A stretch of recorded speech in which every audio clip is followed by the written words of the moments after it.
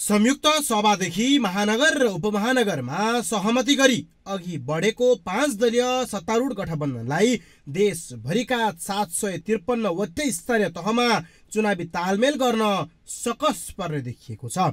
उनीहरूको चाहना सबै स्थानीय तहमा तालमेल गरेर जाने भए पनि मूलत कङ्ग्रेस कार्यकर्ताको असन्तुष्टिका कारण तालमेल गर्न असहज र सकस पर्ने देखिएको हो। सत्तारूढ प्रमुख घटक नेपाली कङ्ग्रेसले स्थानीय आवश्यकताको आधारमा तालमेल गर्ने निर्णय गरेको भए पनि प्रधानमन्त्री शेरबहादुर देउबा भने सबै स्थानीय तहमा तालमेल गरेर एमाले शून्य स्थानीय तह बनाउन चाहन्छन्। उनी लगायत गठबन्धन सम्बद्ध अन्य राजनीतिक दलको चाहना पनि त्यही छ।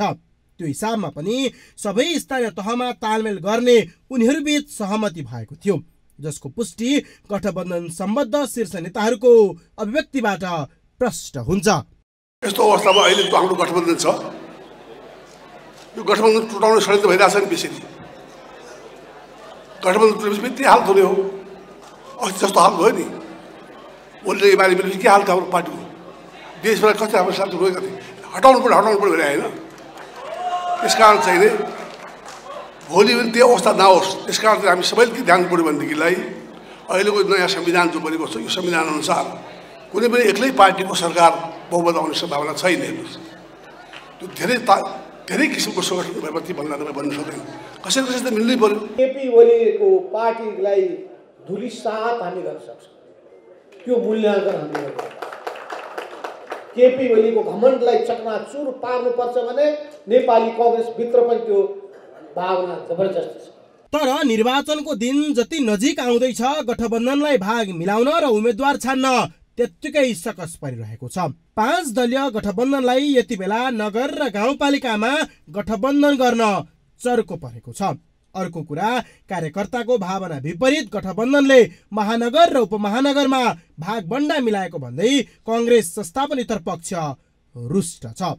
कङ्ग्रेसको एउटा ठुलो पङ्क्तिको असहमतिका बावजुद गठबन्धनले नगर र गाउँपालिकामा पनि भागबन्डा गर्ने र भागबन्डा गरे पनि जित सुनिश्चित गर्न मुस्किल छ। उनीहरूले कम्युनिस्टहरूको भर नहुने भन्दै गलत कदम चालिएको स्वीकार समेत गरेका छन्। के कारणले नेपाली कङ्ग्रेसको केन्द्रीय समितिको निर्णयलाई पन्छ्याएर शीर्ष नेताहरू गठबन्धनको बैठकमा निर्णयहरू गरेर जिल्ला जिल्लामा पठाइरहनु भएको छ। के हामी कमजोर छौँ? मलाई लाग्दैन नेपाली कङ्ग्रेस कमजोर छ।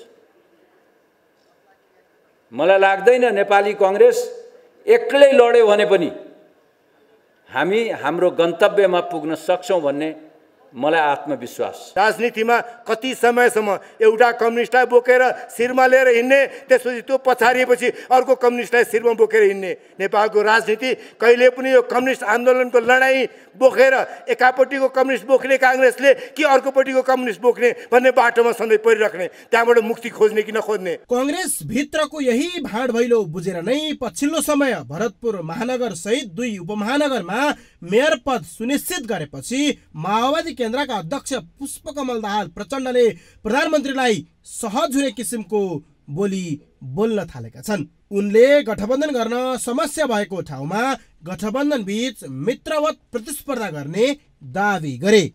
देशैभरि पनि तालमेल गठबन्धन गर्ने भनेर भनेका छौँ र साथसाथै कहीँ कतै त्यस्तो समस्या पर्यो भने पनि गठबन्धनभित्र स्वस्थ प्रतिस्पर्धाको ठाउँ पनि हामीले बाँकी राखेका छौँ।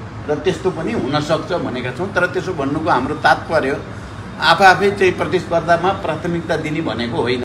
मूलत स्थानीय तहमा तालमेल दुवै ठुला दलहरूले गरेका छन्। पाँच दलीय गठबन्धनको अलावा एमाले पनि साना ठुला दलसँग तालमेल गरिरहेको छ। तर तालमेल र सिट बाँडफाँड जति सजिलो एमालेलाई छ पाँच दलीय गठबन्धनलाई उति नै कठिन भइरहेको छ। क्यामेरामा विजय ठकुराठीका साथमा विकास आचार्य काठमाडौँ।